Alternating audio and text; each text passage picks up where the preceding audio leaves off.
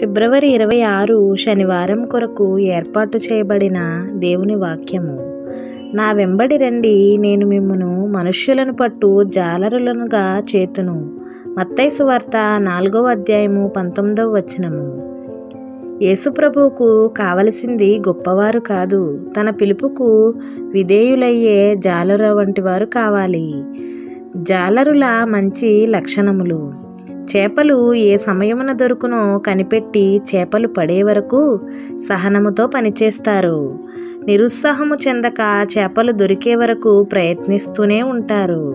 మహాసముద్రము నుండి ఎదురయ్యే తుఫానులకు భయంకరమైన జలచరముల దాడికి భయపడక ప్రయత్నిస్తారు. చేపల వేటలో జాలరి తనను తాను మరుగుపరచుకుంటాడు. ఈ లక్షణాలన్నీ మనుష్యులను పట్టే ప్రణాళికకు సహాయపడునని గ్రహించగలము. మనుష్యులను పట్టే జాలరిగా మారడం అంటే మనుష్యులను పాపం నుండి మళ్ళించి దేవుని చింతకు శాశ్వత రక్షణకు తీసుకురావడమే. ఈ పని నీ సొంత శక్తి ఆలోచన ద్వారా చెయ్యగలిగేది కాదు.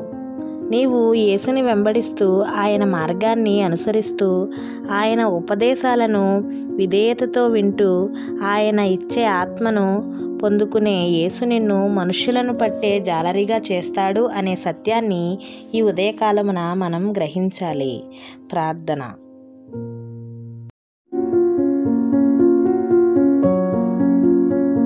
శాశ్వతమైన ప్రేమతో మమ్మలను ప్రేమించడి మా ప్రియ పరలోకపు తండ్రి నీకు స్తోత్రాలు.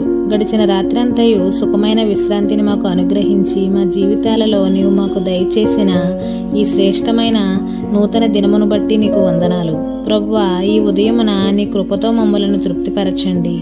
మేము చేసేటి ప్రతి కార్యములలో మా బాధ్యతలలో మా ప్రయాణములలో నీ సహాయమును సఫలతను మాకు అనుగ్రహించండి.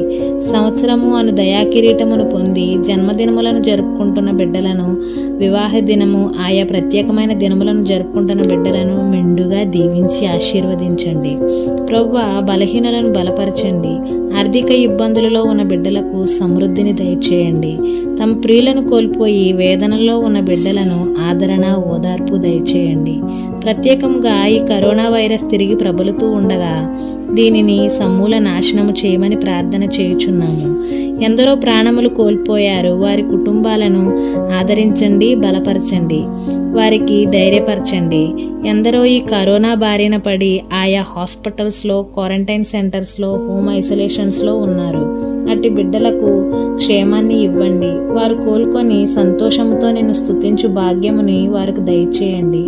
ప్రభు ఈ కరోనా వైరస్ను సమూల నాశనం చేసి మా దేశములకు రాష్ట్రములకు మా పట్టణములకు మా గ్రామములకు మా సంఘములకు క్షేమాన్ని దయచేయమని ఈ దినమంతయు మీ చల్లని రెక్కల చాటున మమ్మల్ని భద్రపరచమని ఈ ప్రార్థన నీ ప్రియ కుమారుడును మా ప్రభు అయిన యేసుక్రీస్తు అతి పరిశుద్ధమైన నామమున అడిగి ప్రార్థించి వేడుకొనుచున్నాము తండ్రి.